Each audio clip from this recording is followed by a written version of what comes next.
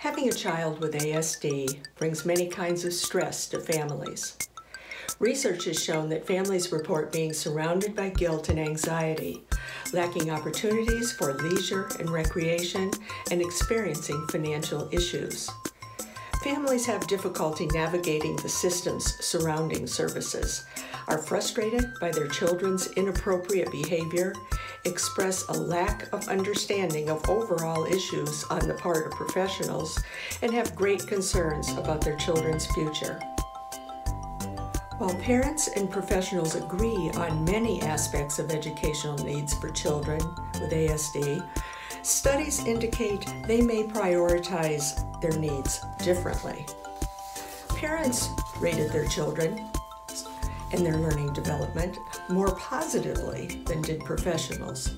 Furthermore, the ratings of parents with higher academic qualification differ significantly across social economic dimensions as compared to those of professionals.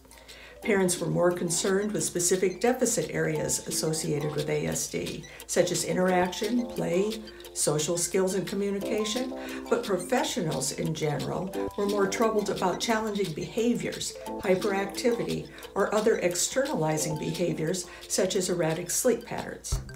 Overall, discrepancies were evident pertaining to perceptions of family needs. Music therapists can learn valuable information about dealing with families from the poignant real life reflections in response to a questionnaire I sent out to a sample of music therapists who are parents of individuals with ASD. The music therapists felt that they were respected as professionals, but reported some dissatisfaction with the people and facilities that were available to serve the needs of their children with ASD citing the abundance of service providers who seem to lack compassion and expertise, cost issues, and difficulty in finding appropriate providers, the music therapist overwhelmingly reported frustration with the system. They learned to become strong advocates for their children and rated this quality as essential. Their comments remind us to be compassionate respectful, and always non judgmental of the families with whom we work.